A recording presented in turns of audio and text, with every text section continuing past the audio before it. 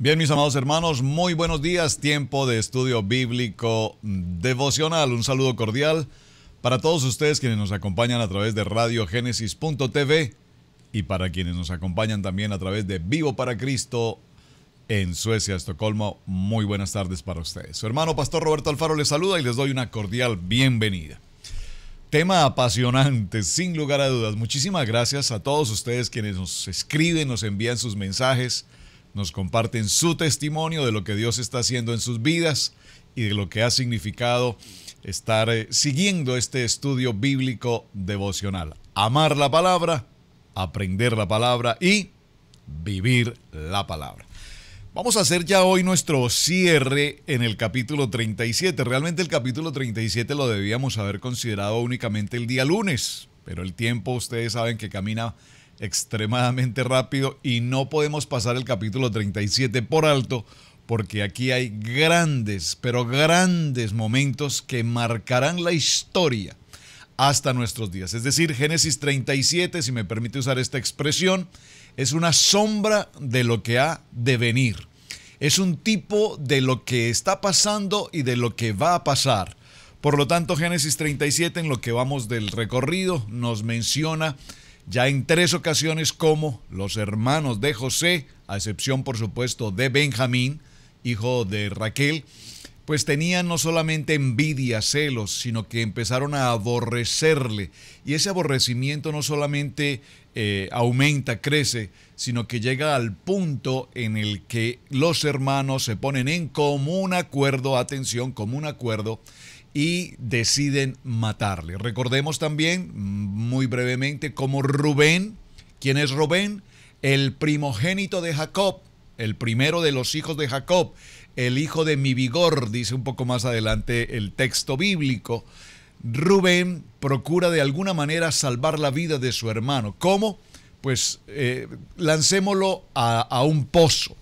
Y en ese pozo lo mencionábamos ayer, un pozo en el que no había agua, pero entró agua. Ya usted escuchó el mensaje de ayer y entiende espiritualmente qué estamos hablando. No había agua, pero entró el agua. Es decir, entró José, la palabra. ¿Y por qué mencionamos esto? Porque José es precisamente ese tipo de lo que representa la vida de Mesías posteriormente. Ahora bien, vemos cómo es sacado posteriormente de este lugar.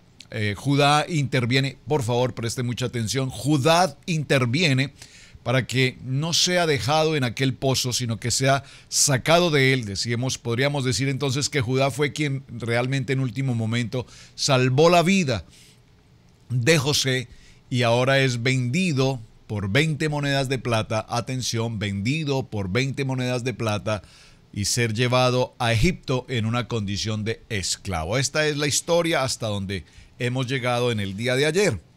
En el capítulo 37 nos damos cuenta, entonces llegamos al capítulo, al verso 31. entonces, dice la palabra, verso 31, tomaron ellos, tomaron ellos la túnica de José y degollaron un cabrito de las cabras y tiñeron la túnica con sangre. Aquí hay algo muy interesante. A ver, hagamos un poco de memoria en lo que ya estudiamos anteriormente. Usted recuerda qué sucedió en el momento en el que Jacob se cubre sus brazos con la piel de qué? Con la piel de un cabrito para simular a su hermano Esaú en ese proceso de suplantación. Un cabrito. Y ahora en el capítulo 37, verso 31 nos menciona un cabrito. Dice que tomaron un cabrito y lo degollaron. Hay allí una relación muy importante, solo se la menciono para que usted por favor la escudriñe y entienda esta relación tipológicamente lo que está pasando allí. Ahora, el verso 32 dice, y enviaron, observe esta expresión, y enviaron la túnica de colores. Esta túnica, ¿cómo nos menciona la palabra la importancia de la túnica, la túnica, la túnica? La túnica que representa a un, a un escogido, la túnica que representa a un llamado, la túnica que representa a este patriarca, la túnica que representa la palabra, la túnica que representa la Torá, la túnica que representa la cobertura. Esta túnica es extraordinariamente importante. Y dice el verso 32, y enviaron la túnica de colores y enviaron, observe por favor, y enviaron la túnica de colores a quién? A Jacob. Y la trajeron a su padre y dijeron, esto hemos hallado, esto hemos hallado. Papá, esto lo encontramos en el camino, viniendo de Datán. Recuerden que venían de pastorear y encontramos en el camino esto esto hemos hallado. Reconoce ahora si es la túnica de tu hijo.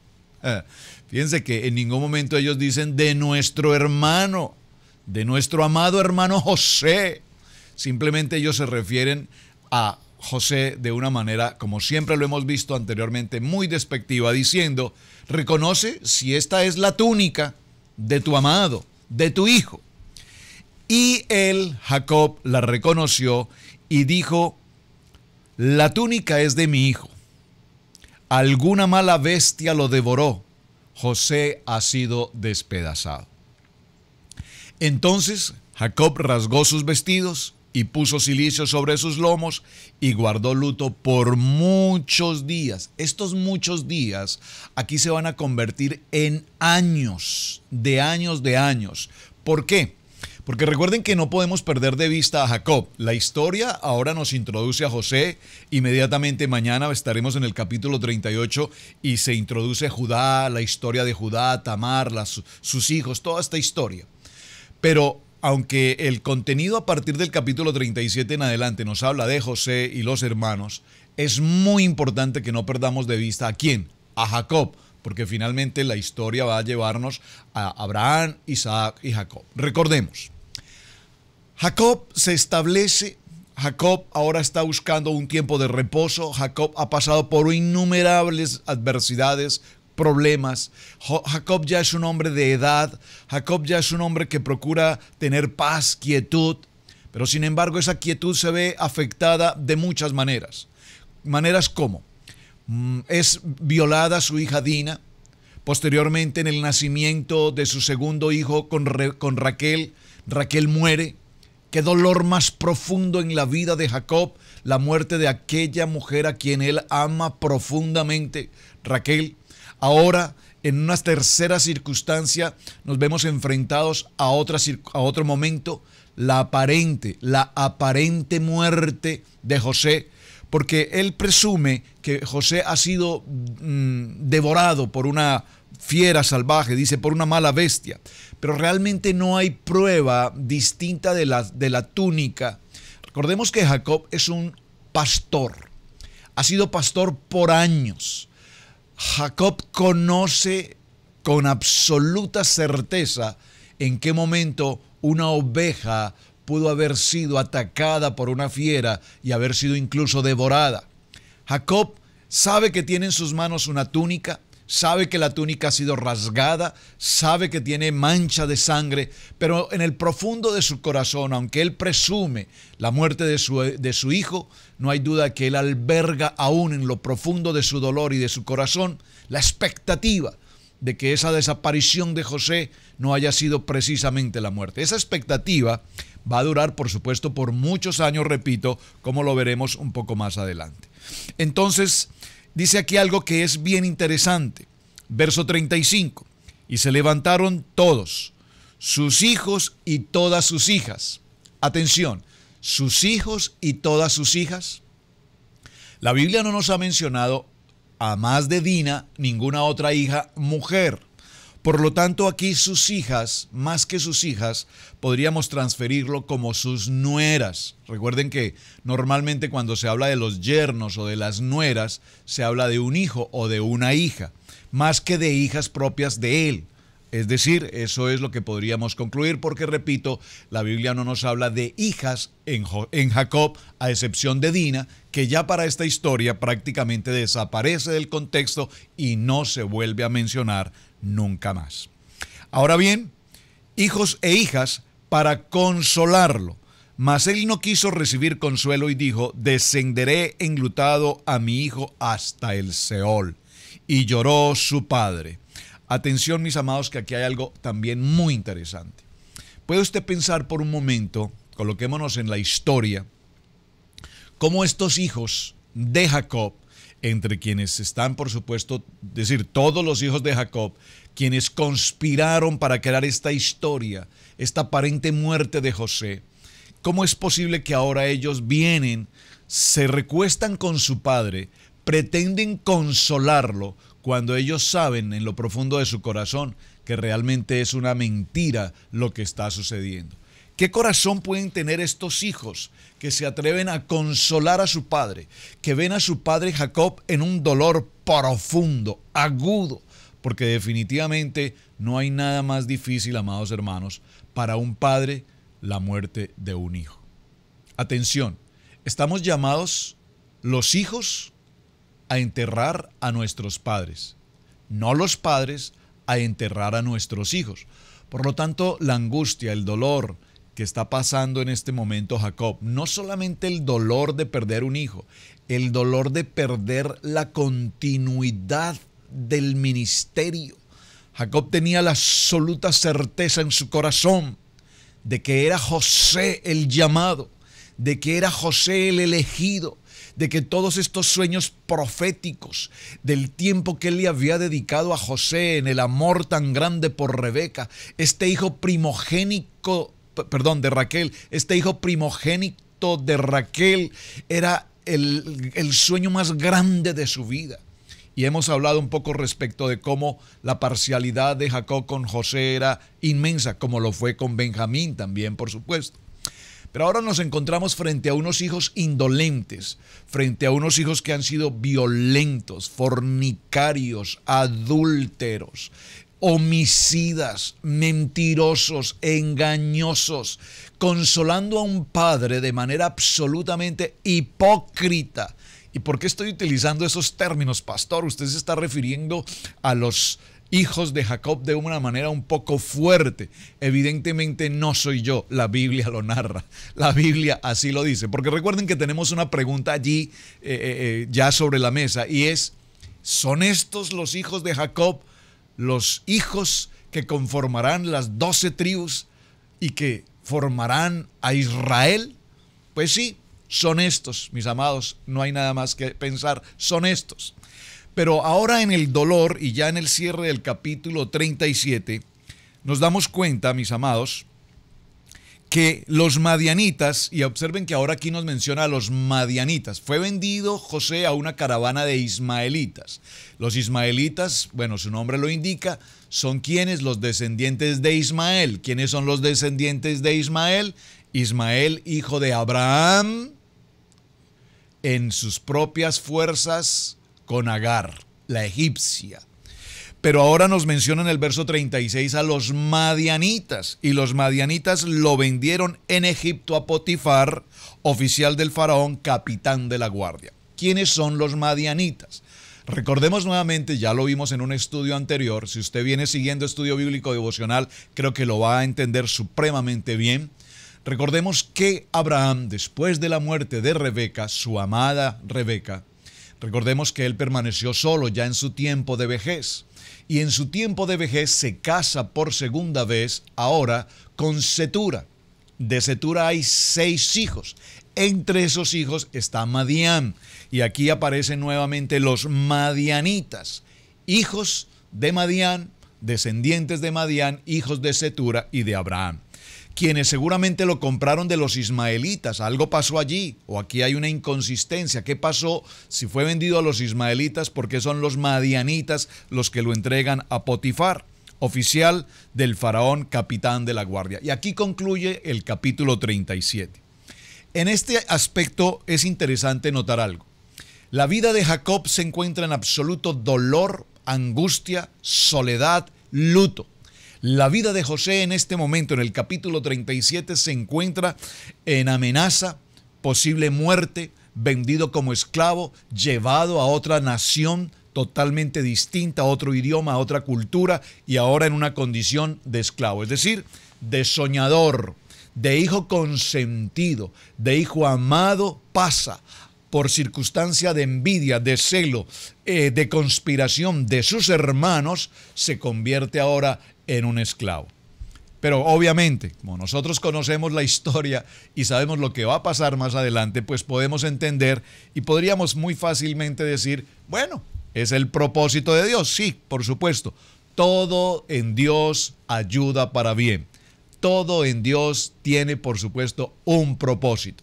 Y ese propósito significa entonces que Dios permitió toda esta historia Dios permitió ese celo, esa envidia, ese engaño, esa mentira, esa hipocresía. Dios permitió toda esta historia para que se cumpliese precisamente el llamado que Dios tenía en Jacob y para que se cumpliese el llamado que ahora Dios tiene en la vida de José.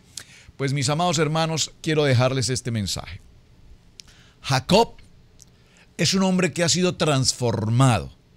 Jacob ha pasado por muchas pruebas, circunstancias y adversidades, pero aún, présteme atención por favor, pero aún Jacob, en los años que tiene, con los hijos que ha tenido, con los nietos y ya incluso hasta bisnietos, es decir, una gran familia, todavía aún Jacob no ha llegado al nivel de madurez. Por favor, resalte esta expresión, madurez, porque una cosa es tener años, una cosa es tener canas, verbo y gracia, aquí hay canas por todas partes. Pero otra cosa muy distinta es alcanzar un nivel de madurez. Y ese nivel de madurez lo va a lograr Dios precisamente tratando con él a través de todas estas adversidades y de todas estas circunstancias. Cuando los hijos de Jacob volvieron de Egipto, y esto lo veremos más adelante, cuando se presenta la circunstancia de hambre, ya Jacob eh, se encuentra ah, hecho a la idea de la muerte de José, Pasan muchos años, recuerden que José tenía 17 años cuando fue vendido, posteriormente cuando está en la tierra de Egipto, en la casa de Potifar, todo lo que José hace prospera. Todo lo que José hace prospera. Lo vamos a ver un poco más adelante también este texto, ya en el capítulo 39. Tanto así que José recibe de manos de Potifar las llaves de la casa y se le asigna toda responsabilidad de administración de esa casa. No quiero adelantarme a la historia, yo sé que ustedes ya conocen esta historia, muchos de ustedes la han leído, por supuesto, tenemos que desmenuzar la historia. Recuerden que el propósito de estudio bíblico no es simplemente leer un capítulo bíblico y pasarlo, no. Tenemos que hacernos preguntas, ¿por qué pasó? Qué pasó, en qué condición sucedió, por qué se motivó tal razón, qué hizo Dios frente a esto, qué permitió Dios. Y en la medida en que nos hagamos preguntas y encontremos respuestas, entonces entenderemos con mayor claridad por qué cada punto, cada letra que la Biblia, y en particular en estos primeros cinco capítulos, en estos primeros cinco libros de la Torá, están escritos, es porque Dios nos está enseñando absolutamente algo. Viene algo muy interesante y es que a través de estos años, vamos a encontrarnos con una situación de hambre. Ya para aquel entonces, repito, adelantándome un poco a la historia, José pues eh, ha eh, sido nombrado gobernador de Egipto, mm, interpretó los sueños del faraón y al interpretar los sueños del faraón recordemos que se anunciaron años de, abundancia, pero también años de escasez. Y todo este proceso por el cual ha pasado José frente a la tentación, frente a la crítica, frente a la calumnia, frente a la acusación, frente a todo lo que hemos visto, nos muestra a un José que es tipo de lo que ha de venir. Es un tipo, una tipología del Mesías. Veamos algunas características que podemos comparar entre la vida de José y la vida de Yeshua. En primer lugar, hijo primogénito. ¿Hijo primogénito de quién? De Raquel. Jesús, Yeshua, hijo primogénito. Tuvo que ir a Egipto, tuvo dos nombres, recordemos que su nombre fue cambiado inicialmente como José, posteriormente en Egipto su nombre ha sido cambiado. José estuvo siempre testificando contra el pecado de sus hermanos y de todo lo inadecuado y lo inapropiado que ellos hacían, y era el reporte que él presentaba a su padre Jacob. Y esto fue precisamente uno de los motivos que ocasionó eh, la envidia, el egoísmo, la conspiración para matarle. Fue traicionado por sus hermanos y vemos ese modelo que ha de venir en el Mesías cuando fue precisamente también traicionado por uno de sus discípulos. Fue vendido por 20 monedas de plata. José, Yeshua, ha sido vendido por 30 monedas de plata. Aquí vemos ese, ese, esa codicia, el intercambio de una persona por el dinero. Fue tentado, recordemos que en el capítulo 39 ahora veremos a José frente a la tentación, frente a una tentación en la casa de Potifar con la esposa de Potifar. De hecho, recordemos que es interesante, es la primera vez en la Biblia que se menciona este tipo de acoso de carácter sexual y observen que el primer tipo de acoso sexual se da no de un hombre a una mujer, interesante, sino de una mujer a un hombre, de la esposa de Potifar a José. Sin embargo, José superó la prueba, pasó esta circunstancia de tentación, la superó. Y nosotros dice la palabra que Yeshua fue tentado en todo, pero no se halló pecado en él. Fue tentado cuando pasó al desierto y Satanás se presenta y lo tinta en muchos aspectos, en los sentidos, en las emociones, en el alimento, en el comer, pero no fue eh, eh, no cayó, digamos, en la tentación. Fue puesto en un lugar de muerte con otros dos criminales. Recordemos que José fue puesto preso y preso en lugar donde habían muchos criminales, al igual que Mesías, que fue puesto preso, fue llevado, puesto en una cruz, a la par de otros hombres reconocidos como criminales. fue levantado del lugar de muerte por el rey, fue investido de autoridad y poder, llegó a ser el libertador de su pueblo, era hijo primogénito, ya lo mencionamos, fue el hijo primogénito de Raquel y Yeshua fue el hijo primogénito de Miriam, normalmente traducido como María, Miriam. Era el hijo amado de su padre, muy importante. He aquí, este es mi hijo amado, dice el Señor, al momento en el que Yeshua está allí en el Jordán con su primo Juan el Bautista en el tiempo del bautismo. Ahora nos encontramos a José como el hijo amado de Jacob. Es decir, que la tipología de José muestra con absoluta claridad que toda esta historia de José no es una simple circunstancia, no es una simple casualidad, es absolutamente un plan estratégicamente definido, preparado por el Padre Eterno, que se cumpliría y que posteriormente se repetiría, se repetiría ahora en la historia y en la vida de nuestro Mesías. José fue durante toda su vida amado por su padre de una manera extraordinaria. Israel, por supuesto, quería que José eh, quería que José desarrollara y fuera la continuidad del ministerio. Yeshua fue el hijo amado de su padre, como lo dice el libro de Lucas en el capítulo 3 y en el verso 22, tú eres mi hijo amado en quien tengo complacencia, a quien he elegido.